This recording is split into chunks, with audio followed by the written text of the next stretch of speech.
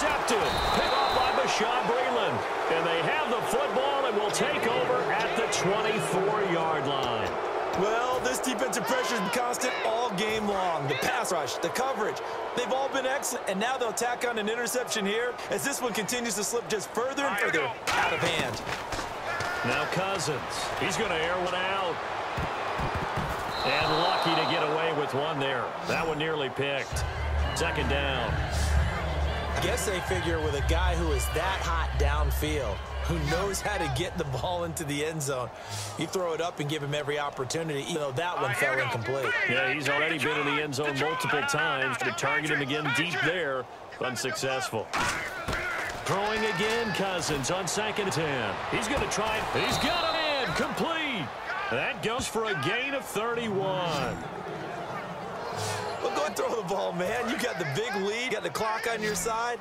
Obviously, they don't care much about the feelings of the other team, do they? Well, I was going to say, you better run to the locker room pretty quick after this one. But right now, maybe they're just looking at it from fantasy perspective. He's got it at 15. Give him 30 yards there.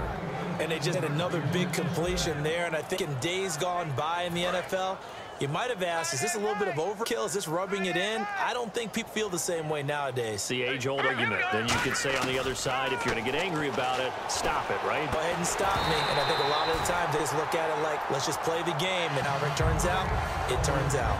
After all the preparation, all the practice, a play like that will absolutely break your heart. They had everything they wanted, just unable to complete it. In the end zone, a big-time drop.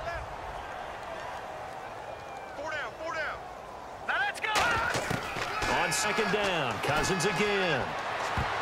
And he can't corral it. Maybe a big missed opportunity there defensively in the end zone. And now third down.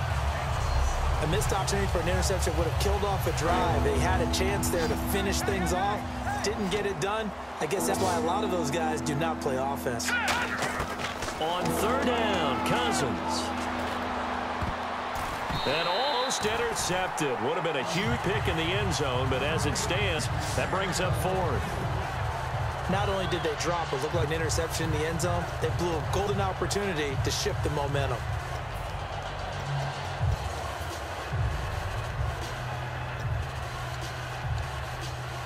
And with things looking pretty good on the scoreboard, they're going to keep the offense out there and go for it here on fourth.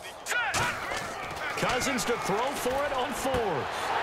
And it is incomplete. Boy, it looked like he had it and dropped it. And the Rams are going to take possession of the turnover on downs.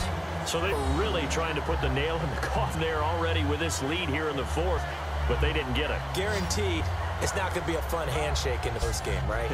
you just know that there's going to be some bad blood there. And I know if we go to the post-game press conferences, the, the winning coach, you know what he's going to say? Why he did it? We need the points, okay? Because you never know at the end of the year if points are going to come into the tiebreaker if we're trying to get into the playoffs. That's always the standard justification.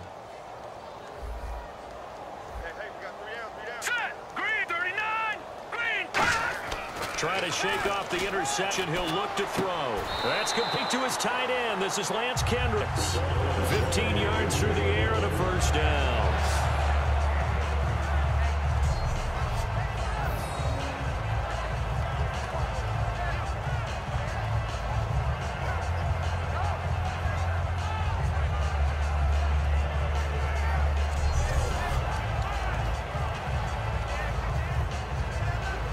Fresh set of downs here.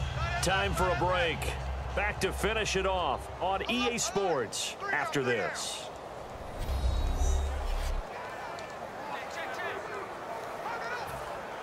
So it's Rams football here as we get you reset.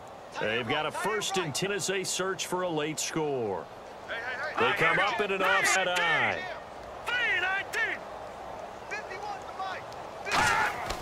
Goff on first down. On the right side, this is Austin with a catch. Give him 10 yards on pickup, and that'll bring up a second and just about a few inches here. And there, the man coverage not good enough, partner, and they're able to complete the pass. Excellent recognition of the men coverage, and they found the guy.